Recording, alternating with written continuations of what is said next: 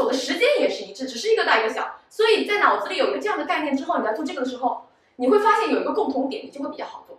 协调性不足可不光是你在跳舞的时候发现身体在跟自己打架的问题，你还会遇到诸如动作记不住、跳舞的时候全身比较松散的问题。那我们首先从字面来理解一下协调性是什么意思啊？协调其实就是使意见一致、和谐一致、配合得当的这个意思。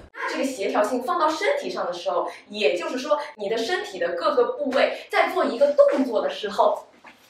要协调好了，要先商量好了，一起工作，达到一个最高的效率，达到一个事半功倍的效果，而不是一起做的时候两败俱伤，不知道自己在干什么，阻碍自己的整一个舞蹈的运动路线。所以你在跳舞的时候，身体不协调，你的手脚就会打架。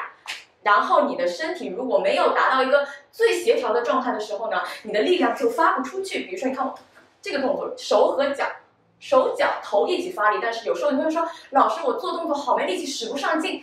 就是你没有找到那个同时发力点的那个契机，让身体在一个最完美的协调的状态下、和谐的状态下，一起互相帮助发力，所以你才会有这种跳舞比较松散的感觉。所以大家在遇到这些问题的时候，首先不能盲目瞎练，而是冷静的分析一下，到底是哪些地方出现了不配合、不一致的问题。今天呢，我想带大家从一个新的角度来认识协调性，并且给大家分享一个从本质上提高协调性的训练方法。所以这篇视频一定要收藏好了，以后可以拿来训练用哦。所以现在请大家站起来，先跟我从一个最简单的动作入手，就是光手画圆圈。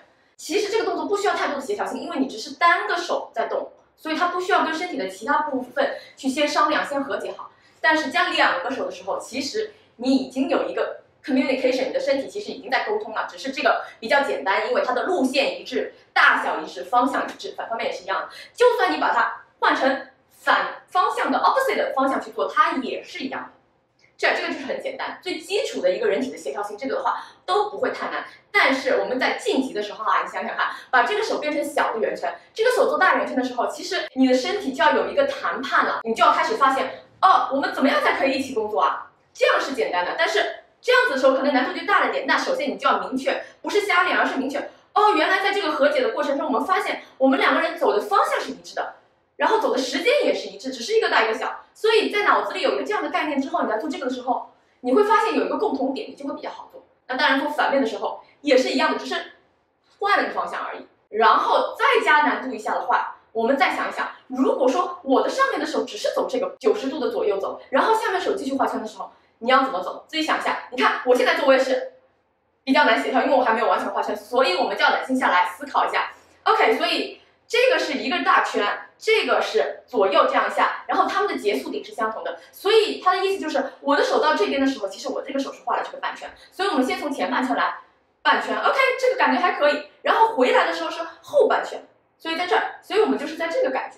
所以你看我现在就协调了，一、二、一、二、一。二一二，是不是？所以我们的身体要先理解，到底我这个方，速度是什么，我的路线是什么。之后，就算路线不一样的时候，一个手在画圆，一个手只是左右来回。所以我能不能找到一个和解的点？比如说这个动作的话，我的和解的点就是是这个感觉，然后是这个感觉，这个感觉，然后是这个感觉，就这么去训练，就看看自己的身体变着来，不一样的方向，一个手一个脚同时出去。手和脚出不一样的方向，或者怎么样？首先出去，脚再出去是什么样？脚出去之后，手再出去是什么样？所以你看，你的身体其实它都在找一个协调性。来，手往这，脚往这，这是协调，一起走。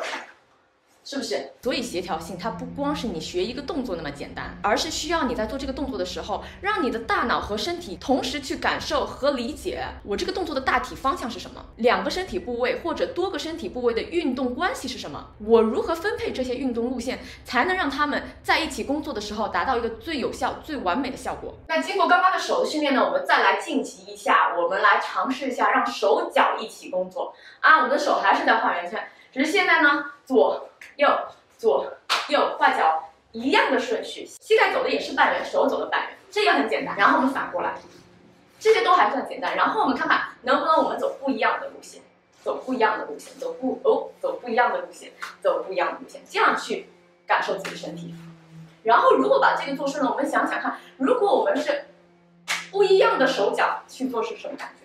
不一样的手脚做会是什么感觉？如果不一样的手脚做的是不一样的方向，是什么感觉？哈哒哒，反过来，反过来，出去，呃，反过来，反过来，出去，出去。我也可以做一个脚的一个往里往里，而手是只做一个线的话，你看，这个也是协调性的问题，对不对？如果说两个一起走，或者手在画一圈的时候，脚画两圈会是什么？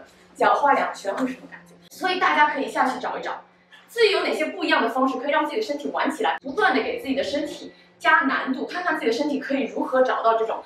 和谐的、协调的、一起工作、有效工作这样的感觉，所以我觉得通过这个方式训练的话，可以从非常根本的状态帮助你提高协调性。也请大家积极的在评论区留言分享你们的训练心得。那今天的视频呢就到这里，如果你喜欢我的内容呢，就请点赞、收藏、分享、加关注啦。我们下期再见。学编舞，学跳舞，跟我一起从不一样的角度来探索吧。